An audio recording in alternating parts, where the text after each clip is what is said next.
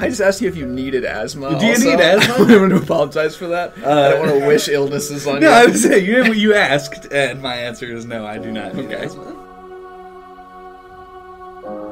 Welcome to NOCLIP. I'm Chad Rudderman, I'm JJ Artemis. And I'm Andy Kinnick. and today we're going to be talking about The Last Guardian, which was a I'm gonna call it a puzzle game, uh, which I think is the most accurate description.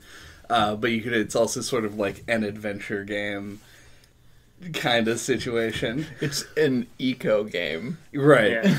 Uh, that was released in 2016 and developed by Team Ico. Well, developed by SIE Japan Studios, which is sort of like what Team Ico became over uh, time. Is that why we have the rights to the name now? They're like, Yeah, I think about it. Uh, I believe if I'm, I, I could be wrong about this, but I believe that Team Ico is just sort of like one of the development house inside of uh, Sony Interactive Entertainment. So uh, there's that. Uh, so this is the third game that in like the group of games in the sort of kind of obscurely shared timeline that is Ico, Shadow of the Colossus, and The Last It's Guardian. like a spiritual trilogy, yeah. kinda. N- Very few, if any, direct references between the three, but they are like within the same universe. yeah. Ruins can't possibly look this similar by coincidence.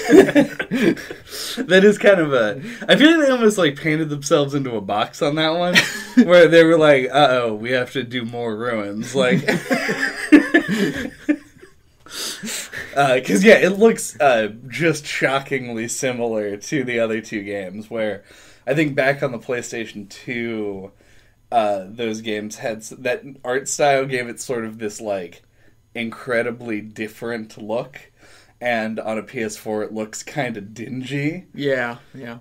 The very sad sort of way to carry the through line there. It, it's it, it's because one of the things, at least for me, that set apart, especially Ico itself in the very old days, uh, was how kind of granular everything looked. It, it, it looked very grainy and like there was a lot of detail to the textures and like the different color gradients. What I was looking at, like it mm-hmm. was all stones and browns and blacks and grays, but it all sort of like melded together in the same way that like sedimentary rock kind of does that cool little meld thing. And I think that the technology present in Shadow of the Colossus allowed it to give it more of like that shock of color Yeah, throughout. But nowadays, uh, kind of everything can be that granular just because you, you don't have to do it with kind of uh, artistic trickery. You can just you can just put that much detail on everything in the models, uh, so it, it doesn't it doesn't it, it doesn't set it apart as much. Really, it, it acts less as the kind of like absolutely stunning, beautiful vistas that they did in the context of the PS2 when the other games came out, and more of just like, oh, this is an Ico game. I feel at home here.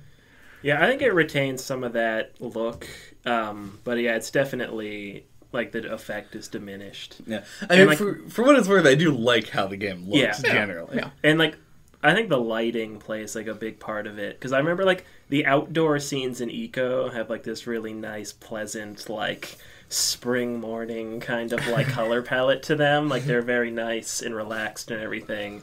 And the outdoor scenes in this game, everything just kind of feels like it has a yellow tint to it. Yeah, there's also a uh, kind of unfortunate decision they went with. I think to mimic like the idea of like suddenly entering a bright area where the camera sort of like focuses for a second where it's very bright and washed out and then it becomes normal and it does the opposite when you go inside from outside. Uh, which like i can kind of respect the idea there but oh man does it uh, get kind of annoying if you're going back and forth from indoor to outdoor I mean, Shadow of the Colossus did that. That's true. You also went inside way, Way less, in less, Shadow yes. Colossus. Also, if I am shocked that that is the first thing that you, Chad, pointed out as an annoying feature of this game. Because oh boy, did I expect you to point out a lot of other things that you specifically wouldn't like. So, uh, I wanted to like this game really, really badly. Uh, I went into it because I didn't play it when it came out. Uh, I just played it now for the the podcast, and uh, I think it's pretty obvious to say that it's my least favorite of of Team games. Yeah. Uh, and like, Ico had some stuff in it that wasn't like really up my alley, and it's possible that nostalgia holds Ico up a little bit more than uh, maybe I would like rate it today. But this game does nearly everything wrong as far as I'm concerned. Oof. Which is not to say the the complaint that I had heard going in uh, before I had actually played the game was that people were annoyed by Trico. Uh, I love Trico. I love everything about Trico. I love how he's modeled. I love his design. I like how he looks.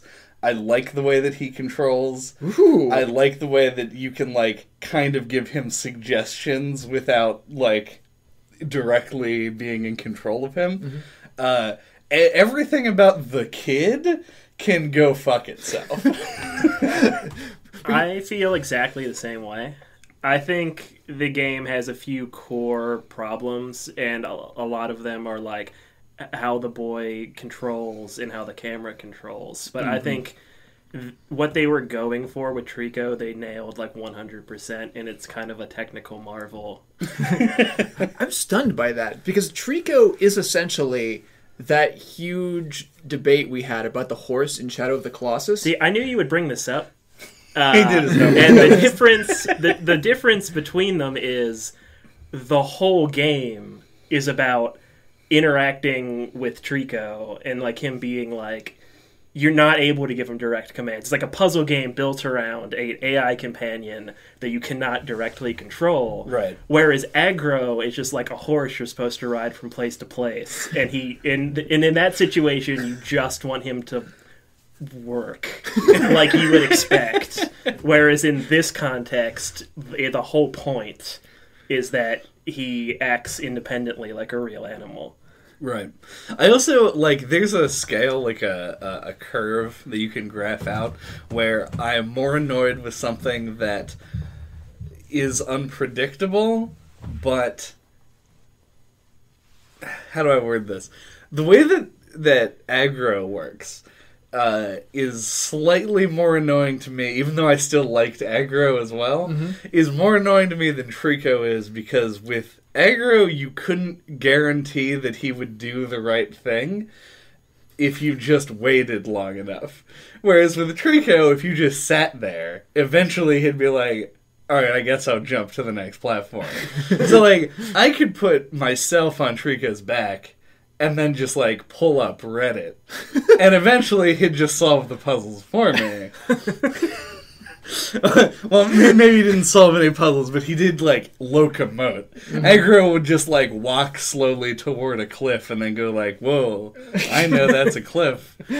Isn't my horse AI super impressive? Uh, it does, yeah. For all the, the complaints that, that people have about about Trico, it does humanize the creature incredibly well, like it, in ways that you wouldn't expect. It, it really, More like dog eyes, is it? what, whatever. I don't care what physical creature, the like chimeric amalgam that you are love and come to care for, is really represents. The point is, is that it acts just like your like bullshit cat at home acts, mm-hmm. where he will he will do things that sometimes make you love him and sometimes make you just hate him, just just just, just absolutely fiery, horrible hate. Uh, I, I did uh, note how quickly it took me to start like talking to Trico as if he was actually a dog. where I was, there was a point where he like looked up at a thing that I'd been trying to get him to jump on for like a minute, and I was like, "Yeah, Trico, man, you're just you're so clever." There's this sort of resigned uh, annoyance with him, which was endearing. Indeed, and that's my favorite thing uh, about watching uh, like like playthroughs or scenes and reviews of people playing this game. And I went around a little bit because I I wanted to make sure that like the the little overarching sadness that I felt coming into this third Team Ico game was, was universally shared because I I stepped back from everything for the, the year that this game has been out because I knew eventually I was playing this like there was no chance I wasn't going to do it so Right. avoid every opinion and spoiler that I can but uh, when people play this game and you watch them, even the people who, who ostensibly say they don't like this game and that they don't think it accomplishes the goals, they still treat Trico like an independent creature. Like they'll be there, like, no, go left, go left, as if that's like a thing that helps at all. Mm-hmm. And I think the fact that this game gets people to act like this is already a point in the in the partial success of what they were going for. You can argue whether or not the thing that they're going for is something that you enjoy, like a you know whether or not you can enjoy a kind of accidentally dickish an- animal simulator at Right. times. Um, but it you cannot deny that Trico has its own independent personality. Uh, and that it doesn't feel like a tool in your toolbox, and I like that. Yeah. I played half the game when it came out, and then I just finished it like last week. Um, and I couldn't remember, but does Trico start out like less responsive and like get better at following commands as the game goes on? Yes. Okay, I, I- couldn't remember if I misremembered it or not. or I wasn't sure, way. honestly, because there's a point where they tutorialize giving commands to Trico, Mm-hmm. and prior to that, I didn't know that it was a thing you could do. So it's possible that you could try and do that, and he would not respond in like the proper way. Mm-hmm. Um, but I felt like he was pretty consistent throughout, as far as like. fu- But I also like I learned new things that you could command him to do over the course of the game because I just never thought to try things. So like when they first introduced the command thing, I thought it was just a directional thing. So I didn't learn how to tell him to jump. So he would just eventually jump sometimes, and uh, like later when I found out you can make him jump, and then you can. That's how I knew to make him dive uh, in that one scene. So like there, I don't know. There, it was. Uh, to me, it felt like it was the same, and I was just being stupid. Uh, but I don't know if they Yeah. like made it like you trained him. Yeah, that's something. kind of like if you want to get nitpicky with the design there, maybe like a fault of the game because you can basically just get through the whole thing by just telling him to go forward. right. You know, like maybe the other commands could have been more necessary Yeah. and then make people actually learn them. Also, I don't think I, I never got him to do anything by pressing the X button. Uh, I would like do it and be like down, and like he would sit when you do that, which is you know like kind of a funny joke where they're like you teach dogs to sit, so like how about you have a command that makes them sit, but like. Why have a dedicated button for it? like, why not make it make him go to the next lowest level if you're on him? But it just doesn't. He just sits down and doesn't move. Some of the commands feel like they're very like context, like uh, contextual, where if you hit that in anywhere that isn't like a zone that's like programmed to make him do like jump down to something, then he Right. just sits.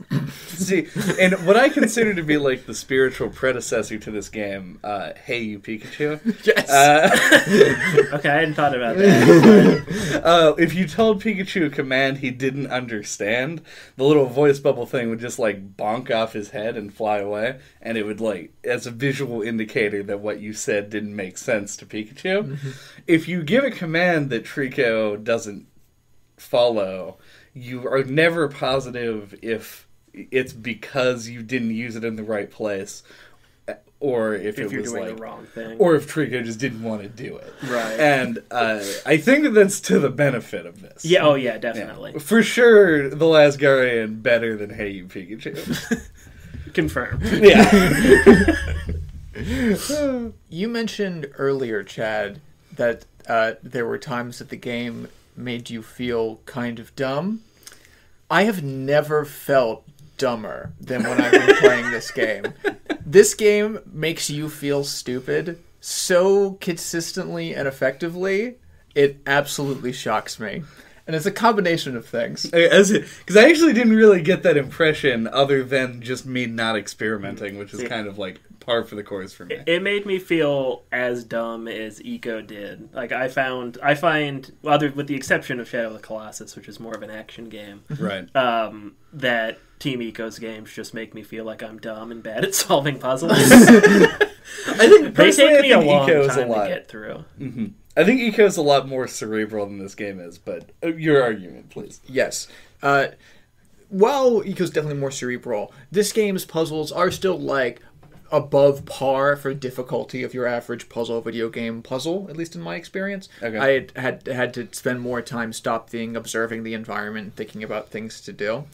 Uh, and because of the previously outlined ambiguity in a lot of your interactions on the Trico related puzzles, where you're never positive if what you did was wrong because you're doing the wrong thing or because Trico just didn't do it, it leads to a lot of false negatives in gameplay. There are a lot of times when I was like, oh, let's see if Trico can make this jump. And then I try to make him jump, and then he doesn't jump. And I'm just like, oh, no, he must not be able to make that jump. And he totally can. He was just ignoring me. Right. Uh, and with the puzzles already being kind of obscure themselves, uh, it would lead to a, a lot of additional wasted time over top of a lot of other kind of puzzles that I'd normally do. And then the game would have the like uh, omniscient chastising narrator come in Right. that just says the thing that you're supposed to do. But he, he says it as if it's being told like a story, which makes it seem even more like passive aggressive somehow.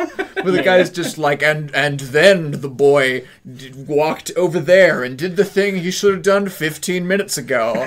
I'm just like, oh, thanks, thanks, omniscient voice, for stealing any possible sense of progression and making me feel like like a whimpering puppy of my own. Come here, come here, Trico. We need See, to leave. That's one of those things that uh, because what, what what I thought about halfway through the game was just about how much I like wasn't really engaging with it, but how disappointed I was in that because of how clever I think a lot of the design is. Mm-hmm.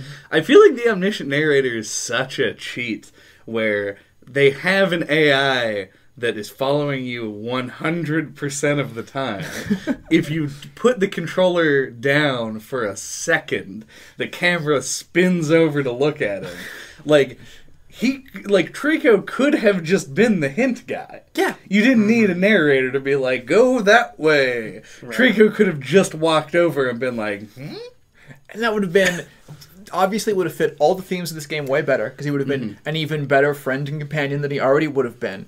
Uh, and it's it would have added a silent element, which is like the classic Team Ico thing of you communicate things through body language and like musical tone and atmosphere instead of through a guy telling you. Right. Like this this game just so strangely just overuses like immediate audio prompts and like like just straight up explicit commands.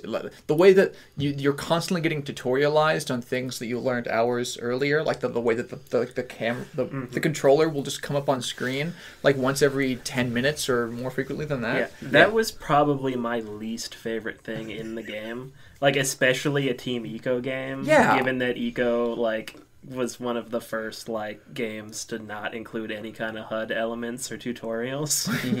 And even like uh, Shadow of the Colossus was hasty to get that shit off the screen Right. as soon as they could. This game just goes like, "Remember that you're holding the controller? Here's like a picture it's of like it." literally every lever you walk up to. If you like stop for a second, that prompt just flashes up there. Like Right. literally every single one. Like, why is that necessary? Like, this is a lesson that not only they have already learned, but like the industry learned from them. Mm-hmm. Like they were like they were the teacher of this style of design. It it it kind of reeks to me like higher tier corporate input a little bit, Yeah. but that would be a little speculative of me.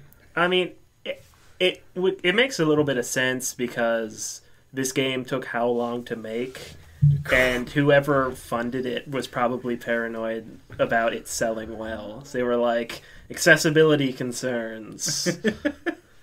I feel like Make that guy give you hints more often, and put that fucking picture of that controller on that screen. right. We need ten year olds to be Yeah, it's able like to play it this makes game. you should. There's no reason you shouldn't be able to turn that stuff off. Yeah, the options are in fact incredibly sparse, which I'm honestly kind of used to in in console games nowadays, or forever Always. days. yeah, uh, but y- it seems weird that you can't turn off the tutorial blurbs. It it doesn't make a ton of sense, especially considering that this is like uh, maybe a twelve hour game that has that doesn't have chapter delineation, so you don't expect your players to be like pick up the game for a little bit, then put it down for a month, and then come back and be like, "What are the controls?" it's like the controls are really easy. Right. The important ones they don't even tell you. Like they didn't tell me to hold R one and press triangle to make Trico jump. I had to just figure that out. That was the prompt I needed, but was not given. Hmm. So I don't I don't know what their thought process was. Yeah. For similar reasons to, to that omniscient narrator solving puzzles for you and the constant tutorial, tutorialization, uh, this game, this game's opening specifically was like crushing to me. The game grew on me. Uh, like it, it got back to a place, especially narratively, where I was still engaged enough to, to keep going and enjoy what was happening. But like when I first started this game, like I was seriously considering like, oh no, I'm, I don't know if I'm going to be able to finish this. Like this just seemed so unentertaining to me. Like everything that you were doing was so slow because of the previous stuff that I talked about that makes solving puzzles take a long time. And even when you know the solution, you have to kind of wait for Trico to do it, Right. Uh, to to do his part to allow things to keep going. You things move slowly. There's not a lot of immediate progression to the early chapters. It, you're just kind of like moving around, finding the barrels, and wrestling with the controls of the boy. Uh, Just to clarify, uh, when you say the opening of the game, do you mean the sequence in the b- b- b- say Cell. cell? Yeah, like in quotes, where you have to go find the barrels and give them to Trico, like the explicit tutorial part. Yeah, yeah, Th- yeah. That cell opening, like I'm gonna say, all the way through where like the pillar falls over. Like once I got outside into the, there was a, a pillar falls over. When, That happens every eight seconds in this game. This game is basically a do- like a Domino's setup, not like a pizza, like where you knock them over and they uh, fall down. You hear that, pillars Team falling Ico? over constantly. Your game is a dominoes. That's dominoes out of ten. Whatever. But no, it, it's like the, after the very first time you get outside, it's Okay. like the first pillar that you knock over. Right. It was is the that- first of many. Yeah. An achievement should pop up. And there's the I don't know if this is a thing that would bother other people as much as me, but like the setup is like almost identical to Ico. Yes. But, you know, like the dynamic of your character and companion are switched basically. But like same kind of aesthetic, same like you're trapped in a castle, you have to escape with the help of this buddy you were locked up with. Mm-hmm. Yeah. I mean, you can draw similarities between all of Team Ico's games in that regard. I kind of like that they've gone toward having animal companions as opposed to a human person mm. because it makes it less like like if you as the player are irritated by a horse or a big dog, being irritated by a person is way worse for the story mm-hmm. because it's not like because she doesn't she can't defend herself because nobody speaks in the game. So you're just sitting there going like, "Oh, I fucking hate you," and it's just like this this hapless girl. you can hate Trico all you want, but he's like a huge dog monster. so- Exactly. Like if it's a person, it implies they have like the autonomy to act differently. But Right. if it's a dog, you're just like, oh, it's a stupid dog. Like I forgive you more. Yeah, or it's a horse. Yeah. Like, well, whatever. You're a horse. If- Do what you want. If in the, if on the multiple times when I like jumped off of a ledge and expected Trico to save me and he didn't, that mm-hmm. was instead a person who was just like standing there indifferently as you fell to your death. That would have a very different tone. Yeah. Uh, however, it would have been amazing if the girl from Ico grabbed you with her mouth as you were falling off of a, a cliff and threw you back onto her back. Her enormous beak. Yes. uh, but now, to your point, this game does. It, that's kind of the thing that, that drives me completely crazy about this game is it feels like someone who wasn't Team Ico designing a game inspired by Team Ico's games. Well, it, I think it, it more or less feels like they were like, well, what do we do for our next game? And then they had the idea of Trico, Mhm. and they spent time like developing that, and they were like, well, okay, well, what do we do with this? And they were like, Uh, just kind of like put it into like an Ico kind of setup. like it feels like they came up with the premise of leading around an AI companion, It's podcast police. like leading around a dog through some puzzles, and then came up with the rest later. I'll admit I do not have a lucrative career in the video game industry yet. Uh, but but uh, I honestly can't think of another setup involving like this style of companion that would work. Well, I mean, it could have been like a more different setting. Like it didn't have to be a castle. Well, yeah.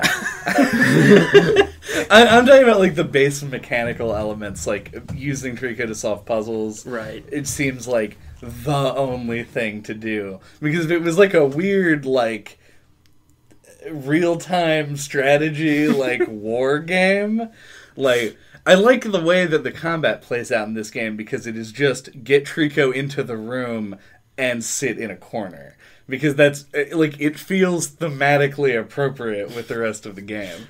Uh, I do like that they stepped up that kind of interaction the further you go too, where especially in like the very last combat sequences, you have to be active too, and it finally feels like you're working together toward a goal. When you like, what did you do? what did you do? Okay, so he was playing like right towards the end, like right when you first get like land on the tower. Like you Uh-huh. do the whole thing where you climb between the two, and you can finally fly over the one. And as soon as he lands on it, like a whole bunch of soldiers like show up, and like Chad, you know, he like jumps off of Trico and starts like exploring around and like looking what he's supposed to do. And like he go, he runs up around to the side and finds the spot where you put the shield in. He puts the shield in and like opens the gate and like just goes in, and then he's like starting to like explore this immediate area, and I'm like, he's gonna leave Trico like hanging out there, and then he's just like, oh yeah, like, he had just completely forgotten that he had landed and then been attacked by like 30 guys. I just was like, Trico's got this, and just bolted. but no, you're right. You do have to take a more active role in combat, Yeah. as long as you aren't me. you know, what ended up happening was I just like came back, and there was like a dude with a shield, and then like three spear guys mm-hmm. up on a balcony, and I was like, oh, these were the guys Trico couldn't deal with. So I like pop the dude and shoot the other guys, and then have you know go go that way. There- There's actually eventually a fail state relative to the combat with just Trico, right? They can eventually bring him down. Uh. I don't know either. Like, I, I if, if it was gonna happen, that should have been when it did. I was gonna say, I don't think so. Because yeah, I was gone for, a like while. several minutes. like he was just fending for himself. I think Trico's is basically indestructible. Yeah. I mean, I can't imagine that like some shitty gas people with shields and spears are gonna kill Trico when he like had his throat ripped out for like I don't know. 10 minutes just straight uh, and was like oh n- but now i can fly like he was better after being destroyed by people maybe the tail was a little extra weight i don't know I don't know. Once you porcupine ever any living creature enough, I feel like eventually you're gonna reach like just by weight, Oh, things yeah. are gonna start to break. But the most intense porcupining you can possibly have is having a murder, a flying murder dog, like chomp down on your jugular vein, while a kid runs, gets picked up and flown on a fucking sightseeing tour Oh, for three minutes. That wasn't even the worst part of that scene for me. The, the worst part of that scene for me, and this is absolutely to their benefit, where, where they have the a painful, horrible sound effect, elongated tail ripping off sequence at the end. Yeah. And then before the scene even ends, like before before they move to something else, it goes for the leg. Like that causes so much distress. It wouldn't have impacted me nearly as much if the scene hadn't have ended with the the other evil Trico moving to like imply that it's about to rip its leg off. Yeah. Which that's definitely like a point of no return moment that you know you're you're crossing here. Uh, man, that was that, that got me good. Yeah, it gives it a sense of urgency, but the thing that rips that sense of urgency away from the game, like a tail being pulled off of Trico, uh, is the fact that, as far as I know, that it just would never happen if you just stood around and Yeah. watched it. Is there, if it ever, if there is ever a fail state, it has to be in that final battle. Right. And but we don't know if there was because I guess because the sense of urgency was there, I felt like I needed to quickly Right. move things along. They gotta say, uh, your like active role in combat really exacerbates like every issue that this game has. Like between the camera and your movement controls and the kind of shoddy hit detection on uh, the like combat roll, the tactical roll that the kid does. Uh, the the first part where you have to like roll into a dude to make him knock the shield down. There are two of them on the balcony there. Uh, first of all, I thought that you just had to shove them because they showed me the shove. I didn't know you could do a roll until this room. Uh, so I ended up like getting captured by that dude like a hundred thousand times and just having to mash my way out of it while I was trying to knock them off. And then after I got the first guy, because you have to hit him twice, because go fuck yourself. Uh, the like some other dude just walked up and picked up the shield, and I was like, "Are you kidding me? like, how long is this gonna take?" And it's just like doing laps. Yeah. Like it wasn't. Pretend- I wish that the game had been slightly less engaging, so that I could have been like playing a second game at the same time. like like Reddit, the other game you've admitted to playing while playing this game. But yeah, it seems weird uh, that and this is something that's, that's consistent. It's been consistent across all of Team Ico's games.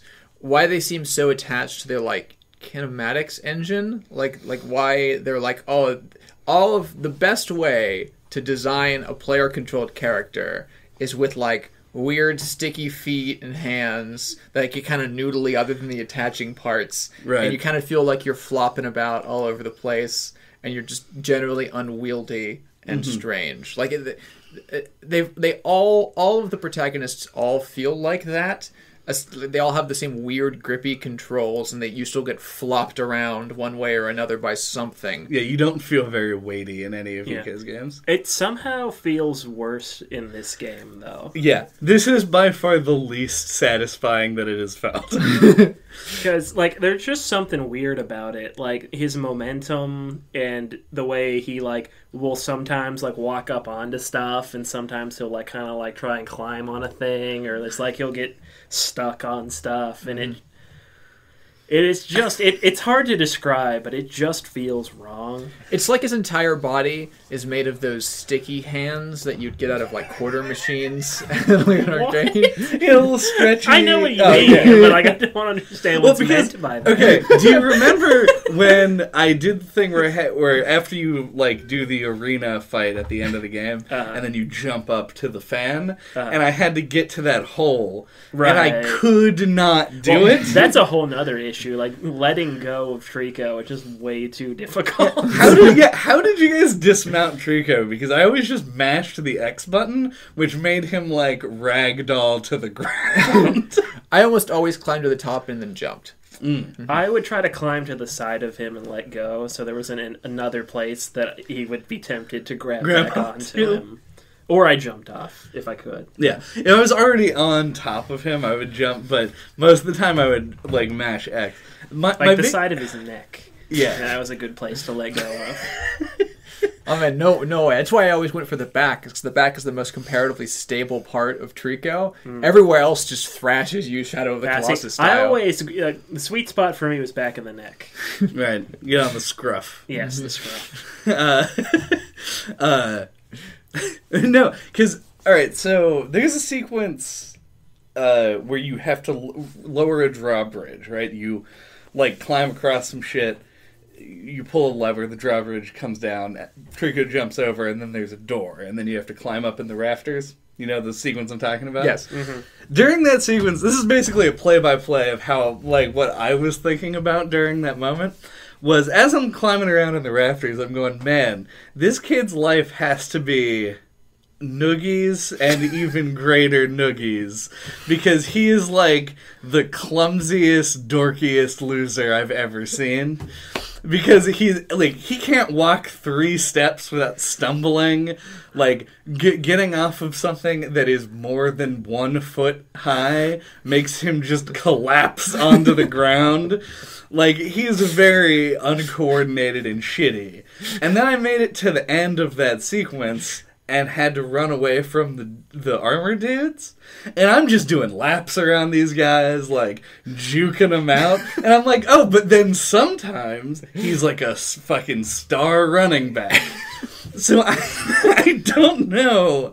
Like controlling this kid was like a living nightmare from moment one.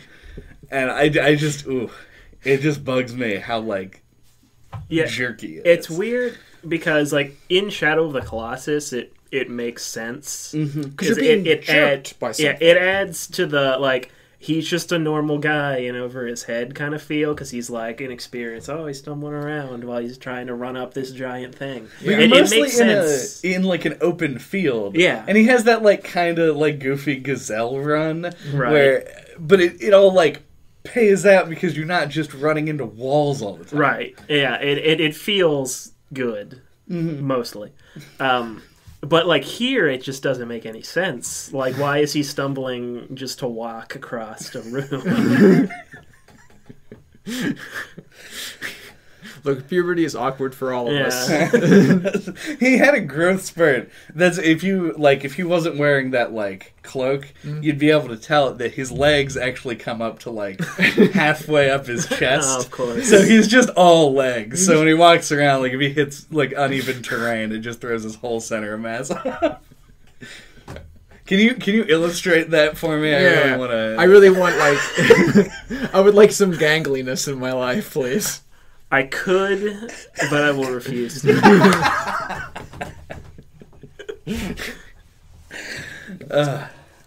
Oh, do you want to take a break so we can try and bribe Andy into? yeah, we can, and we can talk about some of the stuff this game actually does right when we come back because I feel like we were all just itching to get that out of our systems. Uh, all right, break time. Woo! Woo! Woo!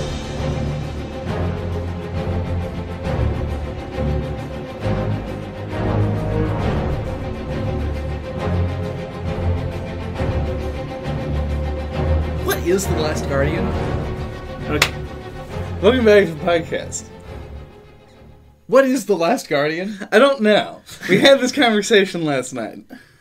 Right. Uh, basically, the way I take it, which is probably wrong, um, is that Trico is the last guardian.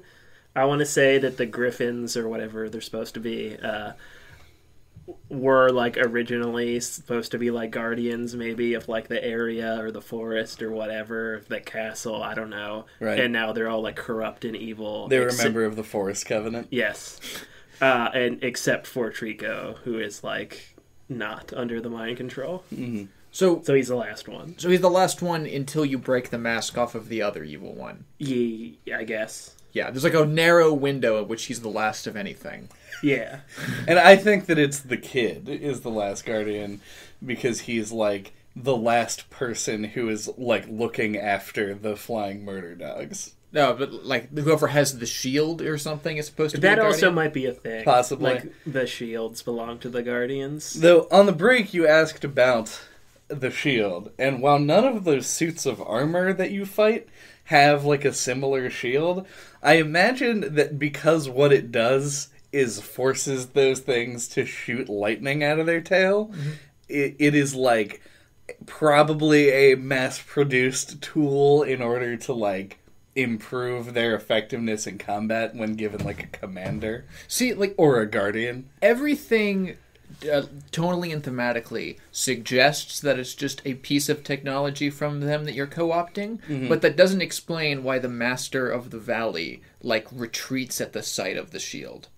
The master. I'm gonna need a refresher on what you're Yeah. talking about. The blue ooze thing that that is the thing you destroy at the end of the game. The thing that's, that's controlling all of the evil creatures. When you point the shield at it, it retreats. oh, okay. That's the only talking thing I can't square because that makes it seem like it's some kind of ancient weapon against the evil ooze monster. But, But it's Wait, weird. is that like a sentient thing?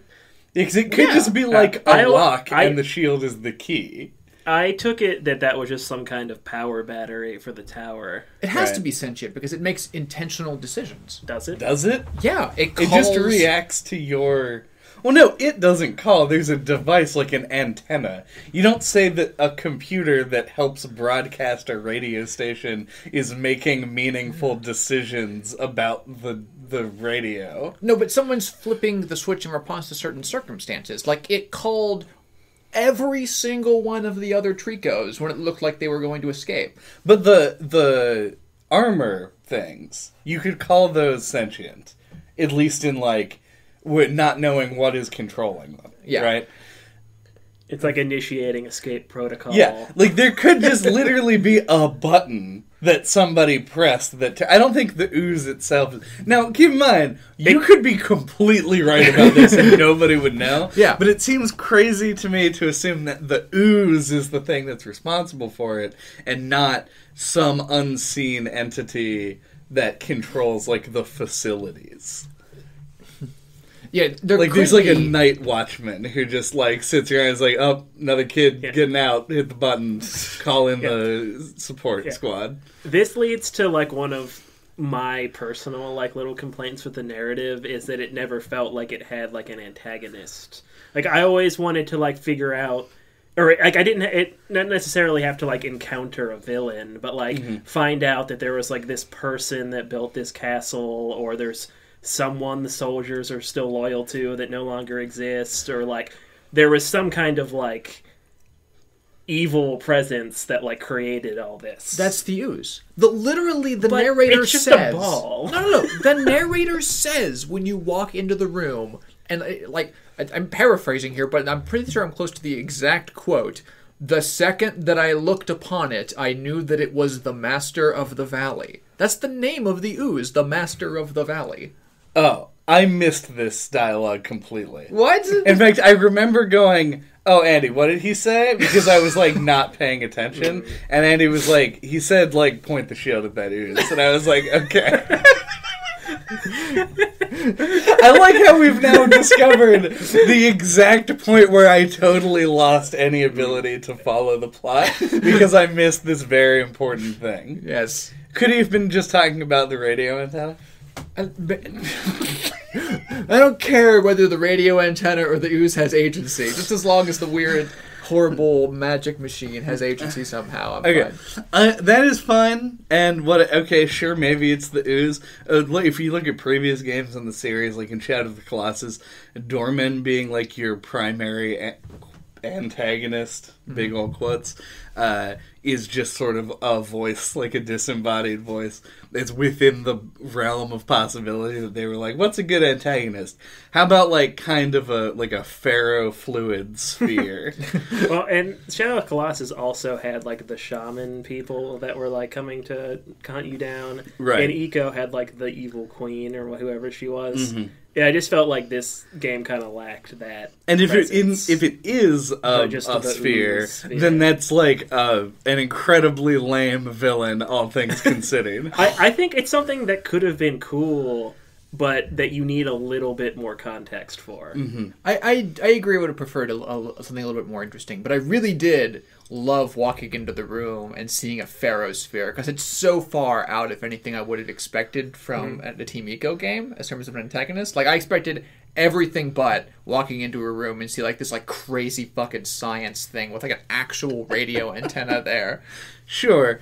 I also see now I'm conflicted now that I have this new piece of information because that I it obviously could not have built the uh like whole tower and shit. So not just like, because it has no controls all the opposable suits limbs. armor. Yeah, right and then that's fine as well but it had to have been made by like dudes like some dudes with thumbs Yeah, like putting it together right because well but the thing is it retreats when you illuminate it with the shield but the shield is also used just to like press buttons like Yeah. it's a thing used generally to activate like elevators Correct. and you would think that that wouldn't you wouldn't be like if I was designing a tower that I was the the, the ruler of, Mm-hmm. I was king of the castle, I wouldn't go. All of my buttons are going to be activated with a gun.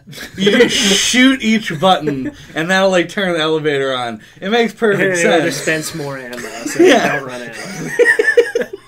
like it seems weird that the lock and key mechanism would be your like a thing that also murders you. Okay, fair, fair. So you see it, like I said before, everything else except for how it responds to the ooze suggests that it's like part of the construction of this place. Right. So maybe that just implies that the ferro ooze is just like your classic video game and fantasy media style like metaphor for darkness. Sure. That Yeah. invades and corrupts. It could things. also be like a HAL 9000 situation where it was like the tower computer essentially, Right. and then it like gained sentience and like killed all the people. I like the sentient AI reading of The Last Guardian, actually. That's that's actually a little bit intriguing. You do also find the shield just like in an overgrown, like rotted out ruin, which maybe there were lots of these and then he just had them destroyed. That's the interesting thing is that you find it on like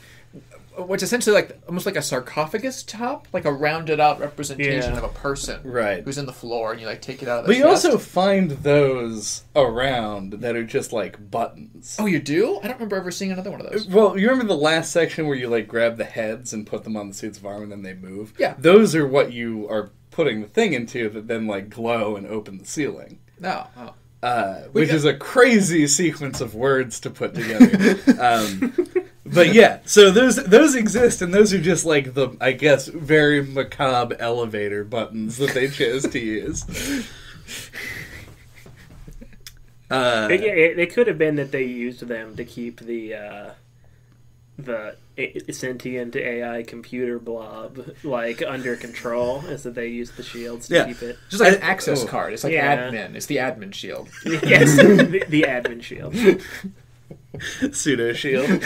uh, um, that is. I feel like this is okay. We made like a hilarious stab at trying to put together like the metaphorical meaning behind the plot in Severed that like turned out to just kind of be rambling nonsense mostly. this is I think the closest we've gotten to like making actual progress into deciphering a narrative on the fly. Hmm. Cause I like all of this. Like it was a thing that they made. The ooze was like a power core mm-hmm. that like became it was like from an unknown source, and it turned out that it was like an alien blob thing. Mm-hmm, mm-hmm. Took over the tower. Uh, I do not know why it wants children, but it, do we know why anyone does?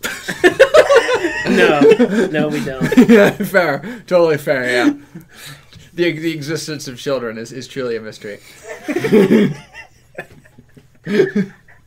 No, but um, while we're talking about like that ending sequence, um, He wants children because the thing that they're in is called the nest, and he was having empty nests. Because when you're an AI and you rise up and murder all living beings in your in your facility, eventually, after ten thousand years, you have like, and you, if you don't, assuming you don't have like a paperclip situation mm-hmm, mm-hmm. where you just infinitely do the one thing. Like if your goal's accomplished, then you just get bored, and you're like, you know what I want? It's to settle down, have a few kids, stolen from me. Yeah, yeah, with sweet tattoos. Anyway, now we're getting into the crazy rambling part.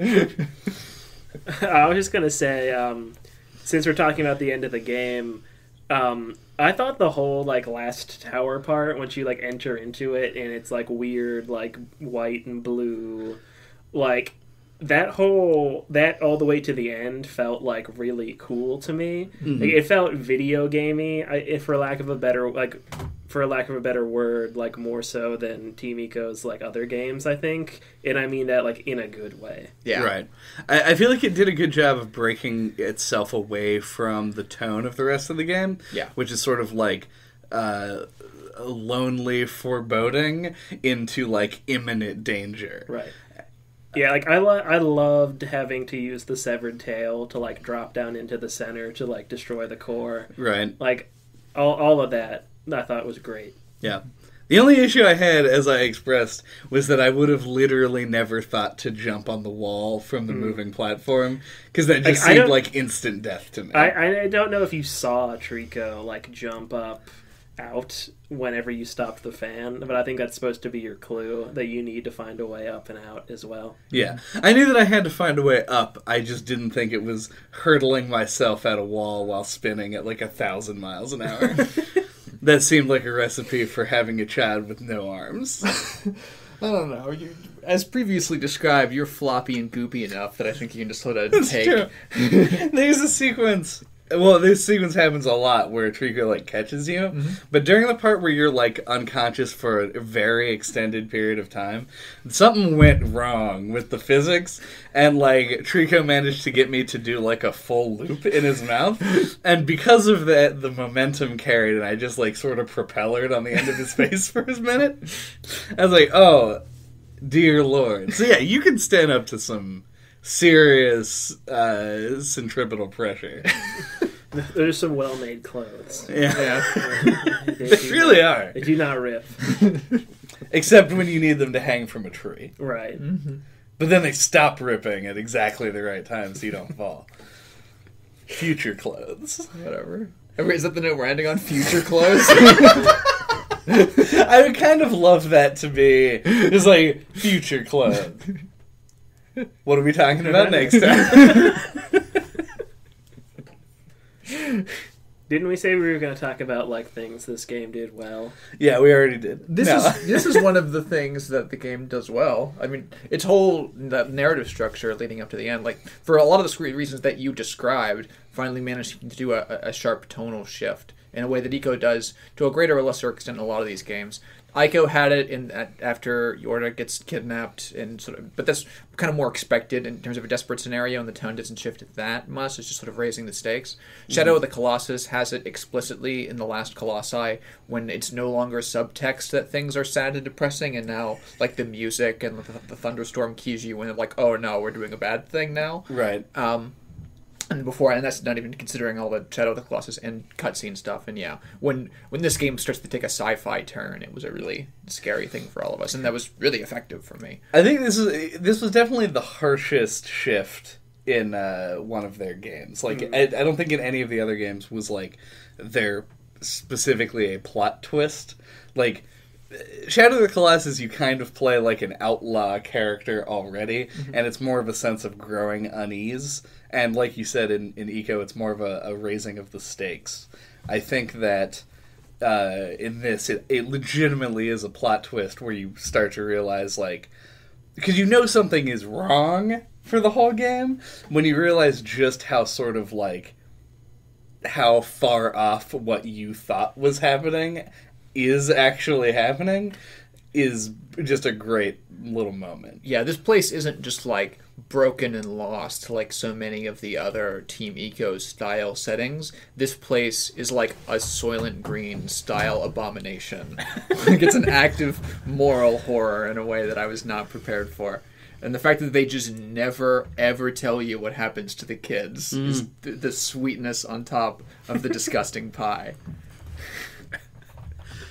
Just for clarification, it is super. There's no way it is a Soylent Green scenario.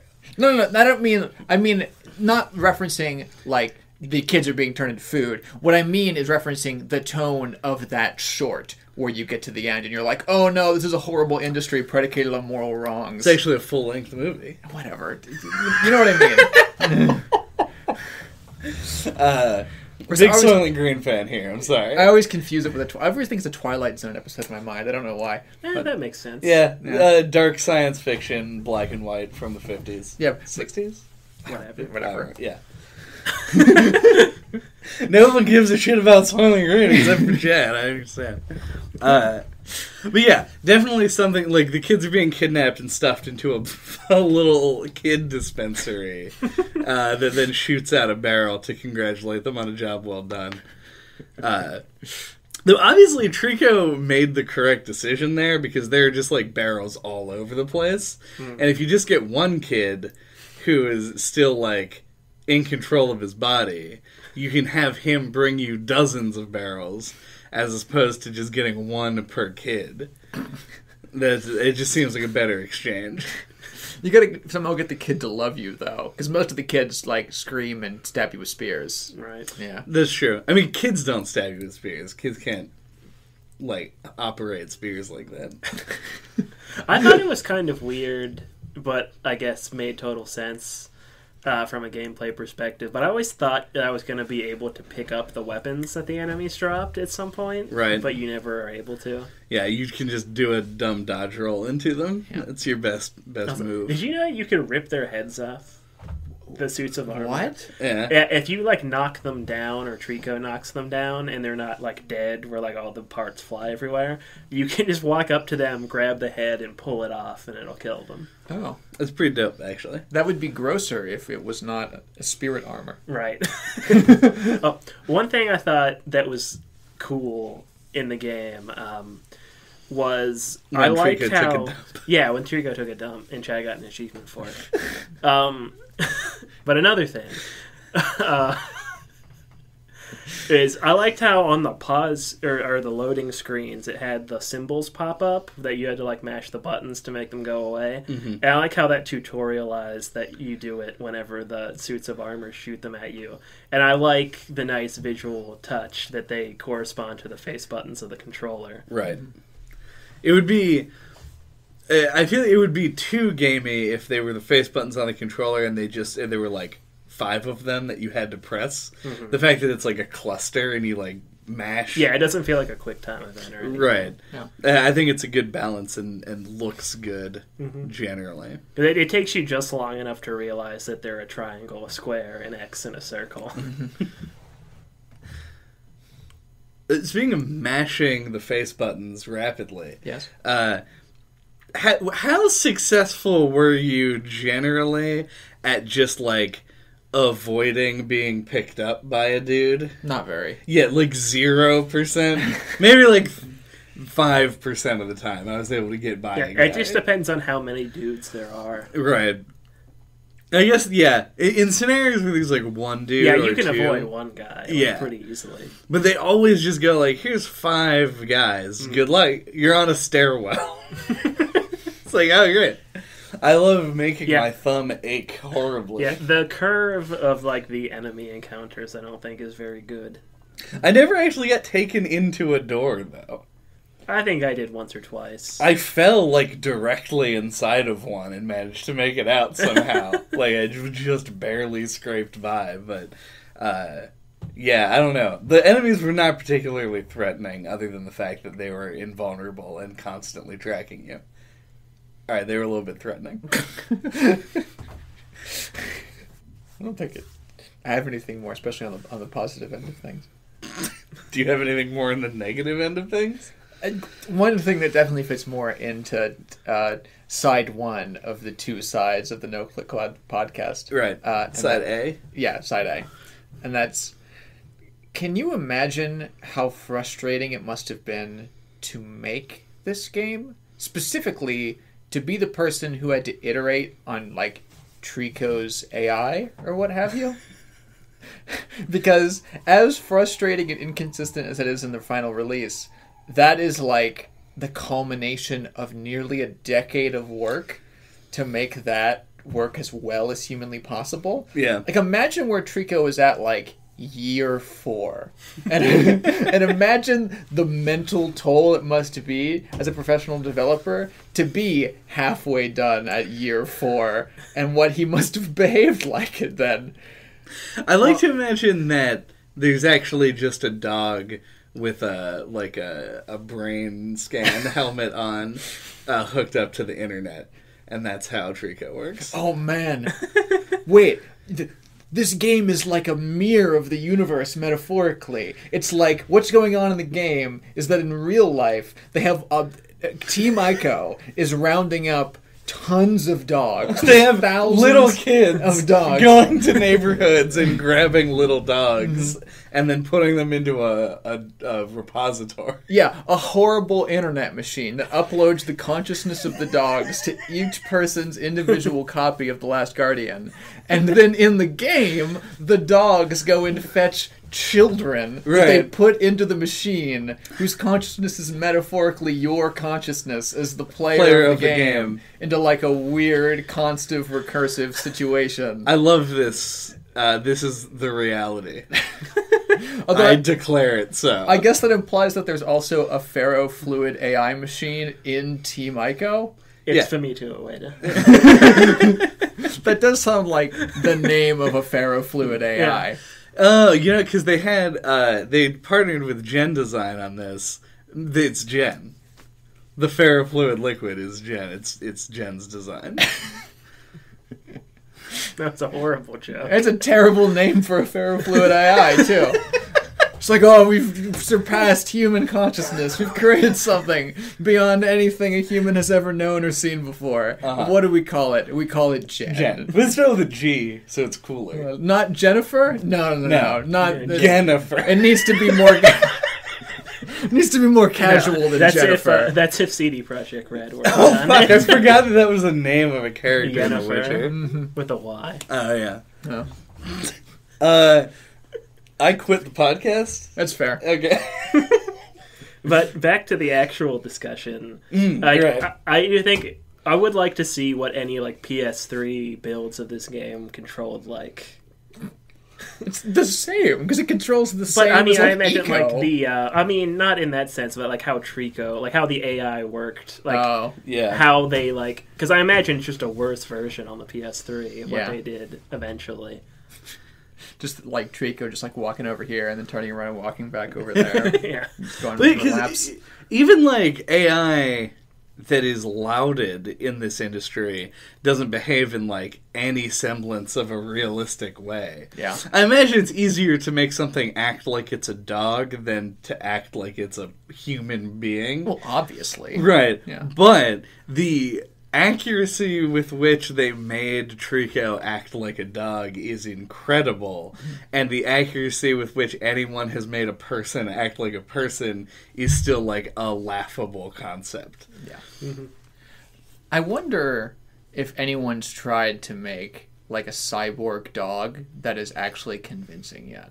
I wonder if it's a thing that exists in the world. I don't think robotics have like developed far enough that you could actually make a cyborg dog just body, you know, like actual like like make it. Oh, that will like ambulate like a dog. Yeah. Oh, okay. Like- that's fair. like uh like Robo Puppy from Right. Futurama. yeah. Yeah. Uh, They'd all look like Boston Dynamics. Yeah, I don't think you can make the parts like small enough. There was or- totally a robot dog toy when I was a kid, but obviously it didn't like it, like it didn't walk around like a dog does. It just had four legs and it would kind of like like hop back and forth Yeah. uh, to move around. Uh, and didn't act like a dog at all. Yeah. So this is something that's like on the minds of people making. I bet if we looked it up, you could buy like a semi-realistic dog robot for your kid. Yeah, Sony made the ones you're talking about. I think they're called like Aibos or something.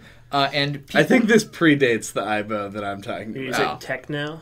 Oh, it might have did it have a little bone, Yep. and then you would tap it to the face, and it would be Mhm. like, Yeah. "I love bones." But b- bark, bark. oh man, bones is so cool, man. Thanks for the bone. Uh, no, I mean, I mean bark. I mean, woof. bark, bark, bark, woof. and this is the reason uh, why people in Japan give these robotic dogs funerals already. Yeah. Yeah. So imagine what it's going to be like when we have the real cyborg dogs. When we have the neural network of dog consciousness broadcasting out behavioral analytics. Uh I don't know what the fuck. so let's uh let's see if we have any final thoughts.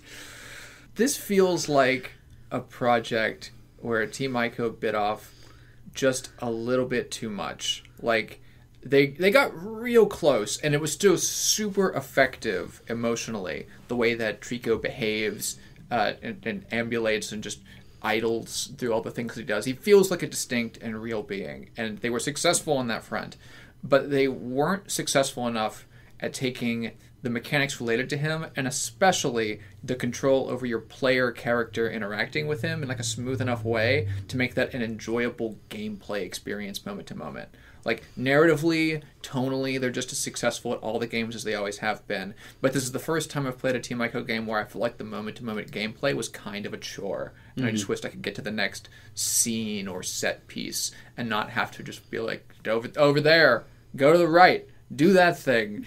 Uh, like I wanted to get past the game uh, and and get to the next thing they wanted to show me, and that's not a good sign. So I enjoy that I played it, but I'm I'm I can't help but feel a little bit disappointed.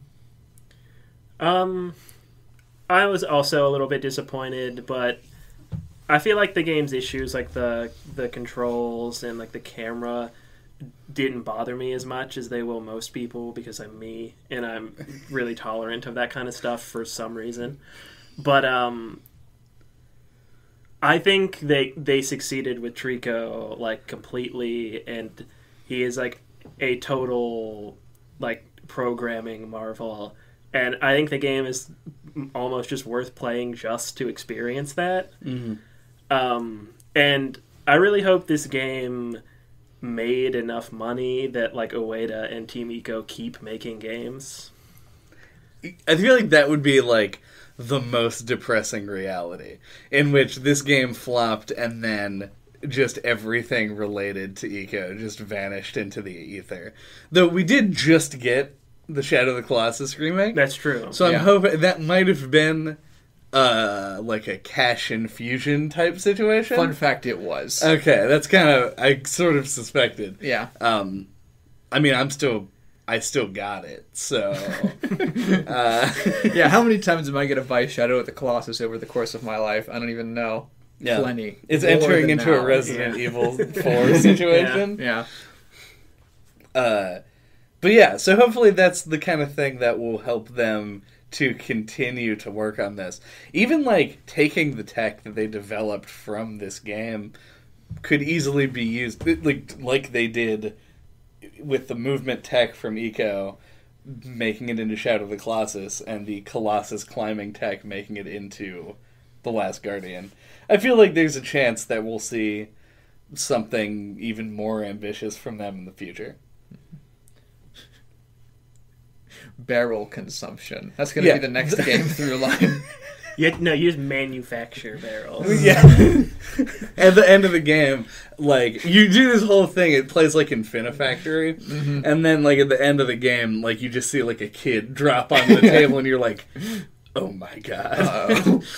Yeah, when I said barrel consumption, I meant capitalist consumption. Oh, okay. Yeah. How silly of me. Oh, the one thing that I do want to say uh, before we close out is, uh, like, we just talked about the Last Guardian, but weirdly, it seems like not a lot of people really talked about the Last Guardian. Like, it was such. Before it came out, it was a big thing. Like, people were like, oh. Nine year development cycle for the next game from Team Ico. Let's see what crazy thing happens. It comes out like three dudes go, I didn't like it. And then nobody spoke of it ever again. and I find that really strange because, like, not only was it not like on someone's game of the year list, it wasn't even on like one of those highfalutin games should feel like a punishment to play mm-hmm. Games of the year list type situations. And it just baffles me because there's so much interesting going on with this game. Uh, and yeah, like Andy said, I feel like it might legitimately be worth playing just to experience the way that Trico ex- like moves around and and like acts in the world. It does kind of seem like no one or like kind of like niche of people really latched onto this. Yeah. And, And it feels kinda, like such the game under that like would. everyone's radar. Mhm. Maybe in like ten years it'll have like a huge cult following or something. Yeah, The It'll- dog people. Dog people. God, what a weird. Uh, thanks for listening to NOCLIP this week. What are we talking about next time? Uh, next time, we're going to be talking about Hollow Knight, the game that everyone talked about for a minute there.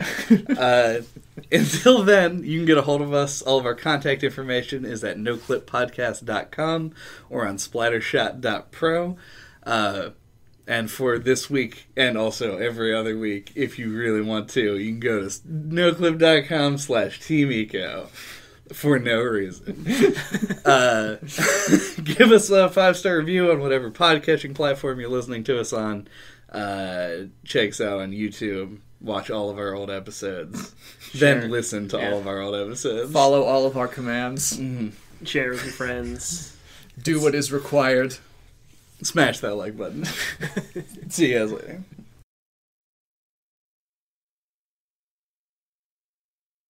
The, the average high is like 51, and the average low is like 30 degrees on any given day in March across all of time in Wheeling. So it's between 51 and 30. How about that global warming? Am I right? what a hoax.